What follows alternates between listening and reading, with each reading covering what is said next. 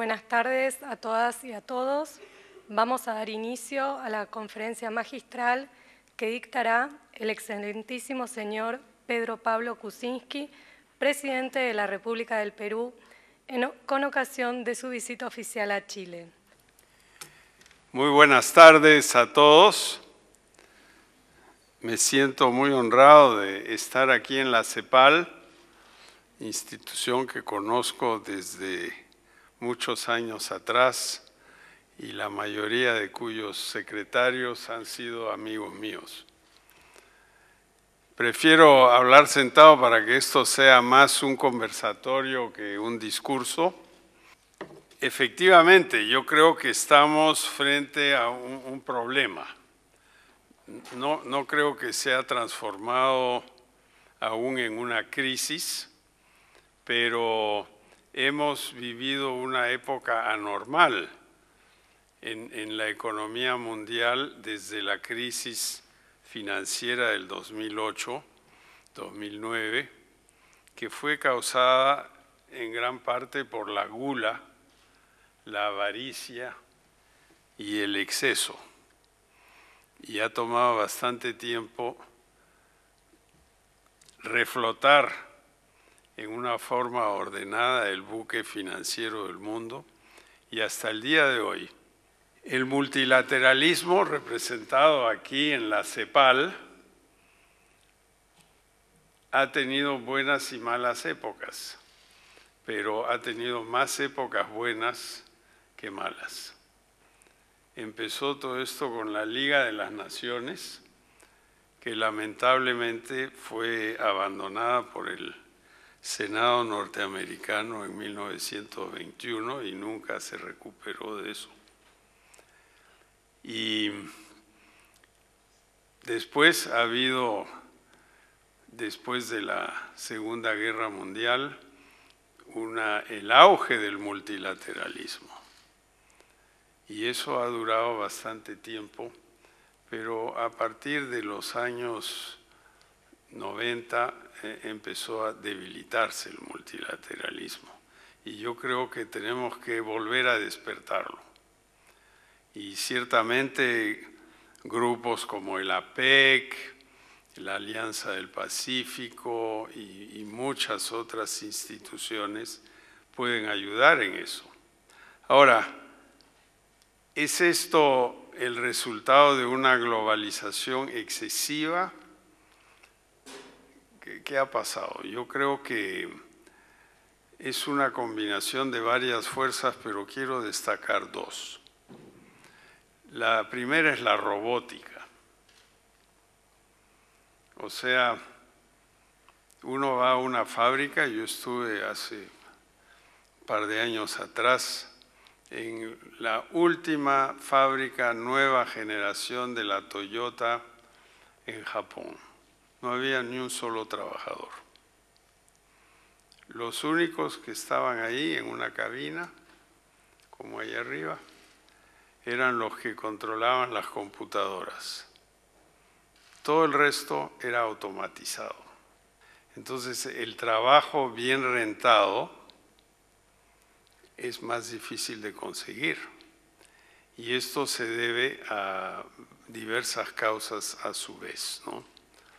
Hay gente que piensa que son las leyes laborales, hay otros que piensan que son los ingenieros de la robótica que siempre quieren inventar una cosa más. Y el, segundo tema ha sido el elitismo económico.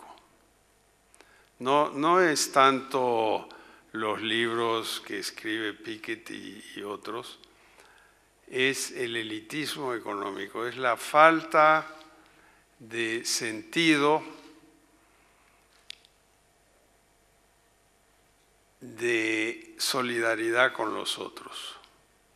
O sea, uno puede leer revistas y uno ve que están vendiendo esta casa en 25 millones de dólares. Y el señor fulano se compró un auto de 350 mil dólares. Y a pocas cuadras de ahí hay alguien que vive con 5 mil dólares al año. Y esos grandes contrastes han crecido, siempre, siempre han existido, pero yo creo que han crecido en esta última época. Entonces, en cierta forma, esta crisis financiera de hace ya casi 10 años ha tenido una serie de consecuencias en las cuales no hemos pensado o recién estamos pensando. Ahora, ¿cuál es la solución a todo esto? Bueno, yo creo que aquí en los estudios de la CEPAL, del Banco Mundial, del, BID, de diversas organizaciones muy responsables, ah, hay soluciones. Hay soluciones, pero la implementación de las soluciones es, es compleja. Las soluciones en el papel son fáciles, la ejecución es más complicada. Ahora, una cosa que obviamente tenemos que hacer es abrir porque las ideas de fuera siempre nos van a ayudar. De repente hay ideas malas, pero tenemos que aprender de todo el mundo. Y el cierre, el proteccionismo no solo industrial, sino humano, nos cierra del mundo. Entonces yo, yo creo que tenemos que dar un golpe de timón ahí. Ahora, evidentemente en América Latina, para hacerle frente a esta situación tenemos que integrarnos, pero protegernos demasiado no es la solución. Tenemos que adaptarnos. Y para adaptarnos, y eso lo dicen todos los estudios, necesitamos educación técnica, productividad, etc. Y necesitamos, sobre todo en varios países de América Latina, desinformalizarnos.